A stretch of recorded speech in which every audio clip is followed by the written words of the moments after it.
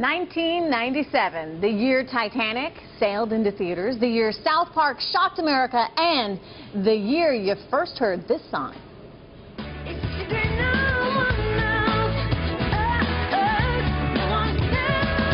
Oh yeah, you know that one, MMMBop, the international hit by three brothers from Tulsa, Oklahoma. Well now, the boys of Hanson, they're all grown up and their fans are too. So after multiple Grammy nominations and over 16 million albums sold, Hanson is seeking a new way to appeal to fans. Mmm Hop Beer. The Hanson brothers join us right now here on set. Isaac Taylor and Zach, welcome to all you guys. Okay, from music to beer, Well, it feels like beer- a leap. Music and beer have a natural connection. Well, I have to correct you. Just I've heard a rumor to that effect. it's um, hops, as in lots of hops. If we only put one hop in the beer, it would be not Wouldn't a be good horrible. thrill. So- hops. It's- Why did, why did you decide to get into this Well, business? it, it sounds a little bit more of a jump on, you know, on paper. When we've run our own record company for the last 10 years, we're very self-contained. Our business, we run the merchandising, the web stuff. We're self-managed. I mean, it's always been about passion, and this is about passion. And Yeah. our, you know, we've seen our fans grow up and change. I mean, I'm 30. You know, developed a love for craft beer, and honestly, it, it really started from just falling in love with great craft beers and Mm-hmm. and going, you know what. Every night we're looking out at an audience. Somebody's got a beer in their hand. We love, you know. I want a maybe piece of there's- that action, maybe right? there's something that we- maybe we should be brewing something that's you know our flavor. so And, what is your flavor? Um, it is a pale ale. Um Hops is an American pale ale. It's really robust, but it's super drinkable. It doesn't bite your head off with hops. If you're if it's you're actually got a little bit of a malty quality to it, which I actually think is really nice. It kind of keeps it kind of keeps a, a more smooth palate to it. You know, some some of my favorite beers actually are some California beers like Sierra Nevada Pale Ale and Anchor Steam, and I think it has a lot of qualities uh, that are similar to beers We- like that. The other thing that we like about this is we see a huge similarity in the craft beer movement and what we've seen in independent music. There's Yeah. all these craft beers, these you know, these guys that are sitting there brewing their passion. Um, you know, places like Three Floyds and Dogfish Head, and you know, he mentioned Sierra Nevada is the gold standard. Yeah. Um, and people like Sam Adams got it, you know, really led the way 30, 25 years ago. Yeah. Um, and we we just love the whole industry. We love the whole spirit. Well, in other words, you could beer. you could have just a small group of guys who are Yeah. able to create music, or come up with a great recipe for beer and then actually just promote it. Or you just get make beer and, and start drinking it, and then you get inspired to write a song. you know, you talk about the craft beer industry being very independent. Music's also going very Yes, it is. Independent. definitely going and you guys have yeah, been about part of 10 years ago, we started our own record label in 2003, and um, have really been doing it ever since. And what we've seen is that um, a decade ago, it seemed like a big stretch. A lot of our friends, a lot of other business colleagues in the music business were going, "What are you guys doing?"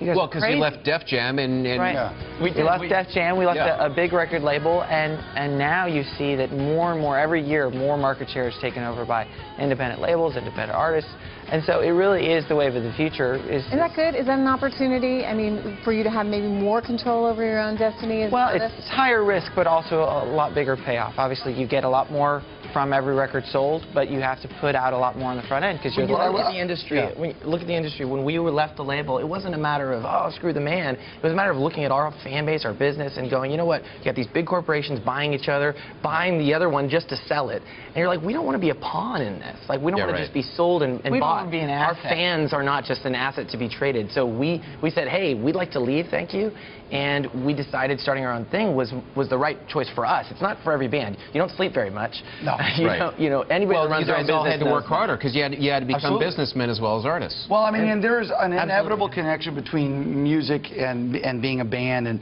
being a business. But you're right; it is a reality to the dollars and cents and the hours spent. And and for me, you know, in in business, as in as in being a band, you have to be consistent. The goal is consistency. It's evolution with time, but it's consistency. And for us, being a band and owning the label and things like that was about consistency more than anything. It was about staying the course and being consistent with where you wanted to go and where you had been coming from. So what are the songs you're most excited about right now? I mean, getting One on New our album, record, yeah. We have a new record called Anthem. We're on tour right now. In fact, the beer is going to be sort of premiering in different states around the country throughout. Oh, it's kind of like you planned it. Yeah, it's almost like Yeah, we imagine did. that. And in fact, our band is 21 years old this year, so there's a little synergy there. Ah. Um, the record is called Anthem. It is a lot more guitar driven. We've always written melodic pop songs, but this record has some weight to it. It has some more. We like to say it has a little more fight to it. There's just kind of a, you know, it gets right up in your face. There's an aggressiveness, and it's a great album to play live. Well, you guys are all from Oklahoma, obviously brothers growing up in Oklahoma. How much of that sort of heartland spirit? Beer, that's a heartland thing, Oh, you know, sure. anthem, that's, Absolutely. that immediately says red, white, and blue to me. It does. As, I mean, we are proud to be from the Midwest. We're proud to be from Oklahoma. Um, there's a lot of music heritage from there, um, and there's a growing craft beer um, culture there. We know basically everybody in the state that's brewing, and um, we we are really proud of the fact that this is brewed in Oklahoma. Um, Mustang Brewery is the, the our partners that are helping us get it actually produced, making the liquid, and we, we like the fact that people can actually get a sense that this is from our little corner, and as it grows out, you can come to Oklahoma and know that this is like we drive right down the road and do it. Uh, Where are you producing it? Where- um, in Oklahoma, it's produced. it's actually there. Yeah, yeah. And Oklahoma City is where Mustang is based out of. And we're actually in Tulsa, but 90 miles away. yeah. So y'all still live in Oklahoma? I still live in Oklahoma. Yeah. You know, that's we as a band we've always been really influenced by uh, American rock and roll and just sort of love the idea of being from somewhere, and that's always been a big part of who we are. And 21 years you've been singing professionally. Our first show so was much has changed. 1992. Yeah, when, I mean, when most people met us, it was about 16 years ago. You mentioned 97. But before that, I mean, we were, being brothers, you could start a little earlier than the average band. You know? You- Rehearsal was just you're like, hey, rehearsal, Yeah. over there, you know? Yeah, I was six. We was six. I mean, Wow. we went to an arts fe- you know, festival and we stood on stage and we basically just said every time we did a gig, we got another gig.